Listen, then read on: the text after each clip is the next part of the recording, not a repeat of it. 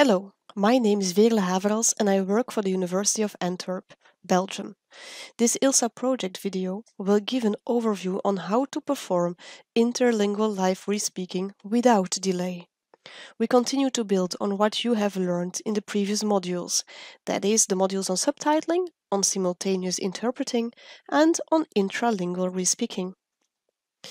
If you are not granted a delay for your respeaking assignment, the respoken text will appear on the screen later. However, even without delay, you have two options. One, an interlingual respeaker who works with an editor. In this case, you work more or less in the same way as you did in the previous chapter with delay. You prepare well in advance for your assignment. You create a glossary, you create a list of names, you practice all the terms in your lexicon, create macros for terms that your speech recognition software does not recognize. During the assignment itself, re-speak in short sentences and dictate punctuation marks. Ensure that you correct your lapses immediately and broadcast the text as quickly as possible so that your editor can correct whatever needs correcting. Try not to respeak too literally and take the public's reading rate into account. You can certainly summarize, like you would do in a pre-prepared subtitles. Ensure that your subtitles are idiomatic. The difference with working with delay is that you don't have to take the original sentence structure into account. Since you don't have any delay, in other words, any time to spare, you won't be able to synchronize your subtitles with your audio, and therefore the only thing you have to worry about is producing correct, idiomatic text. Second, an interlingual speaker who self-edits his respoken text. This is the other setting. If you have to self-edit the respoken text, that is an additional difficulty.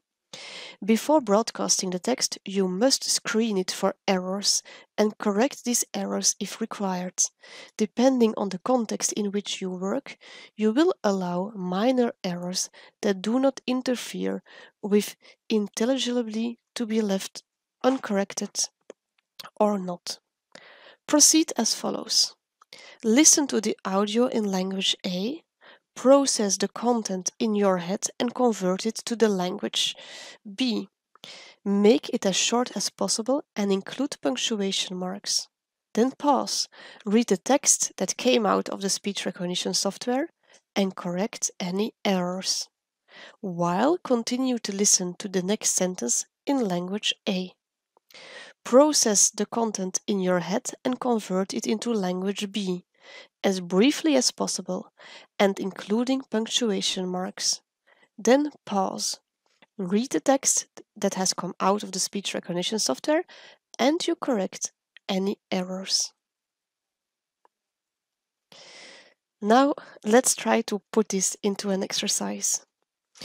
Do the same exercise as you did in the previous video without taking into account the sentence structure of the source text detect small errors that do not interfere, and determine whether or not they should be corrected. Summarize as you respeak and make short sentences. Read every subtitle after it comes out of your speech recognition software. Start with easy speeches with one speaker and then try to do harder ones.